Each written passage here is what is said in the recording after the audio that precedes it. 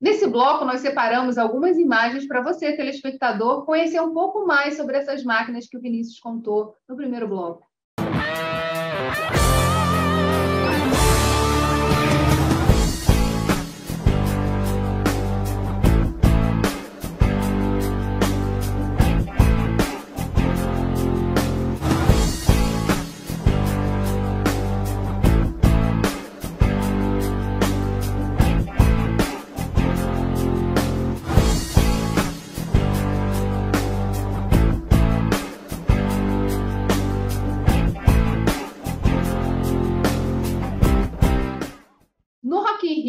Essas máquinas estiveram à prova, foram testadas, né? Eu queria que você contasse um pouquinho como é que foi essa experiência de no maior show de rock é, do Rio de Janeiro e do país, é, como é que foi testar essas máquinas e colocar esse programa à prova? Rock in Rio foi realmente um desafio. É a primeira vez que o Sistema Comércio participou do Rock in Rio e participou como protagonista de forma bem efetiva.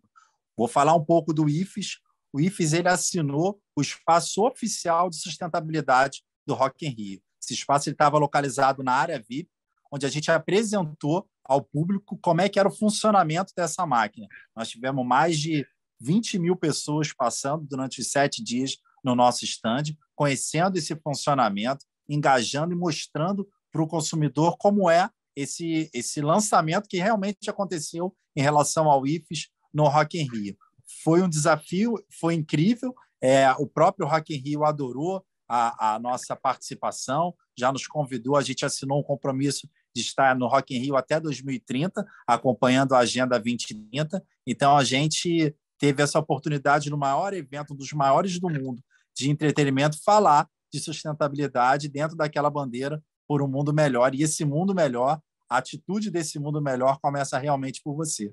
E a gente teve uma oportunidade muito legal também, que nesse momento nós lançamos a campanha Raspas e Restos Me Interessam.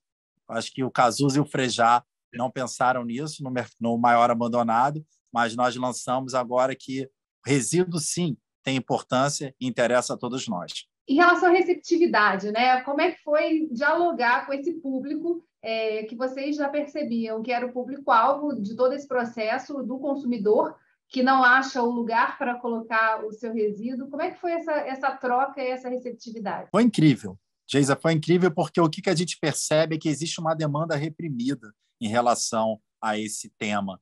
E as pessoas olhavam assim, nossa, que legal, quando é que isso vai estar na rua? Eu falei, a partir de segunda-feira. Você já vai encontrar, já tem agora 20 máquinas já espalhadas pelas estações do metrô, todas as unidades do SESC, SENAC FEComércio você vai ter também, vão ter outros, muitos locais já estão nos procurando, as pessoas ficaram super entusiasmadas, porque as pessoas querem destinar.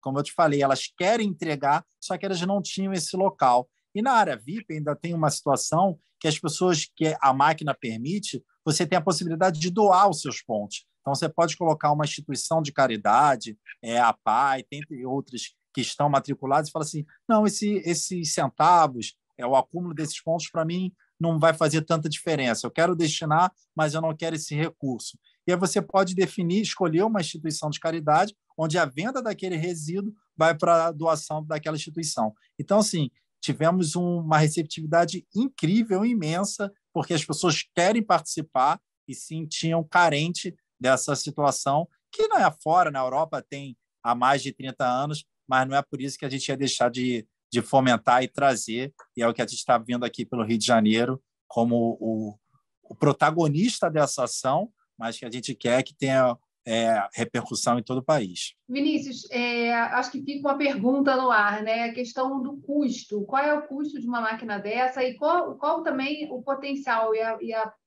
planejamento aí de vocês para a expansão e a distribuição dessas máquinas? Como é que é esse processo? Hoje o custo a gente não tem, a gente quer que tenha muitas máquinas, nosso objetivo é esse. Então a gente não tem qualquer lucro nesse nessa vantagem da disponibilização da máquina. Hoje a máquina custa um valor mensal de 5 mil reais, você consegue ter essa máquina dentro do seu estabelecimento.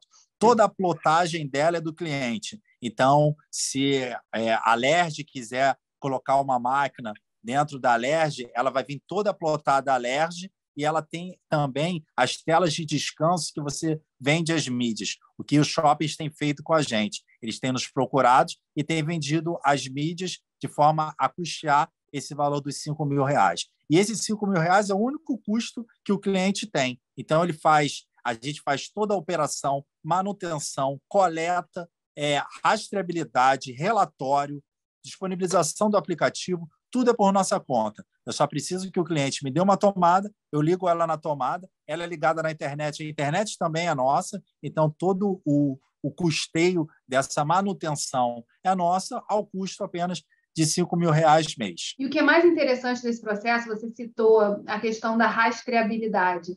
Isso é muito importante, né? Quando você fala, por exemplo, é, da possibilidade de saber para onde esses resíduos estão indo, é, eu acho que a gente ganha aí muito em velocidade, muito sobre o que, o que acontece com a reciclagem aqui no estado do Rio de Janeiro. Como é que tem sido também esse diálogo com as instituições governamentais, com quem cuida, na verdade, desses resíduos e as indústrias, né, que são responsáveis também por fazer uma logística reversa, é, tem custo desse processo? Como é que tem sido esse, esse diálogo? Isso tem sido muito produtivo, né? A gente tomou essa iniciativa porque a gente vê que existia, como eu falei, uma carência em relação a isso e era um ponto que estava órfão, né?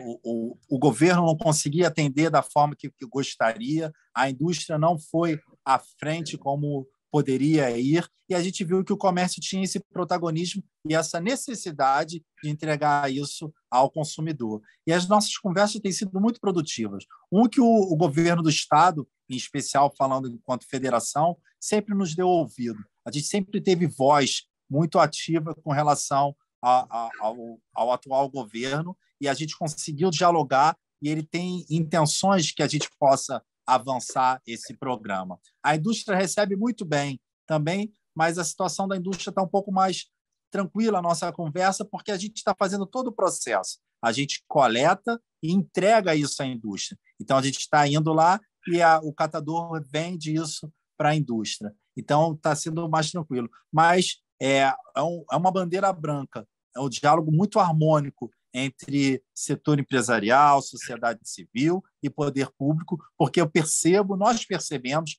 que todos querem o mesmo fim, que é a destinação correta e um mundo mais sustentável. E a gente sabe que um ambiente de negócio fluminense seguro e competitivo depende da pauta da sustentabilidade. Não tem mais outro caminho. É, como é que tem sido também estudos? Como é que vocês estão trabalhando também essa agenda de, de que outros produtos podem é, ser trazidos para uma máquina? Tem algum tipo de já versão 2.0 sendo estudada? Como é que tem sido esse processo também do desenvolvimento desse maquinário? Vou te dar um, dois spoilers de duas máquinas que eu não falei agora e que é importante você conhecer, que está dentro da nossa, da nossa carteira de oportunidade. Uma é a Recicla Farma que é uma máquina que fica dentro das farmácias e ela funciona da mesma forma. Ela recebe a bula, é, o medicamento, a gente manda para incineração e ela fica dentro das farmácias. É uma máquina menor para tudo que for material de farmacêutico, é, todo tipo de remédio, né? Pós-vencimento, pós-consumo, que a gente sabe o quanto que isso é nocivo a, a, ao meio ambiente, aos lençóis freáticos, como um todo. Então, existe a Recicla Farma, que é um nicho específico para as farmácias, que a gente está agora lançando ela no final desse mês para todas as farmácias aqui do estado também. E uma outra máquina também, que aí já dentro do mesmo sistema da, da Retorna Machine, que são esses seis tipos de resíduo, é a Deixa Aqui essa deixa aqui ela é um container de 6 metros e ela fica ao ar livre. Ela não é uma máquina que tem touch, então ela pode ficar. É, a gente quer que a gente consiga entregar ela principalmente nas comunidades, onde o consumidor entrega o seu resíduo. Esse resíduo é, é separado, ele é pesado e o valor desse resíduo é computado na sua conta. E aí, nessa sua conta, ele consegue pagar contas de energia elétrica, recarregar Rio Card, metrô, é, créditos de celular também ele pode. Tem outras empresas, a própria Saraiva, outras e muitas é, empresas que você pode ter é, a troca desse resíduo através de, dessa bonificação. o PagBank, por exemplo, aí você compra na internet o que você quiser. Então, tem várias formas. São todos sistemas integrados. A gente é exclusivo no estado do Rio de Janeiro, mas se você destinar em São Paulo, é o mesmo sistema e você pode usufruir desse benefício aqui no Rio e vice-versa. Então, é uma outra vantagem que a gente tem uma integração nacional do sistema. Você falou de um aplicativo. Esse aplicativo já está ativo? É possível a gente achar nas lojas de, de aplicativos de celular? Sim.